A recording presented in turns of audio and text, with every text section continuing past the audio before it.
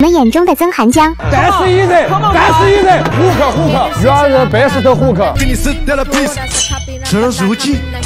而江云生眼中的曾涵江，这帅惨了吧？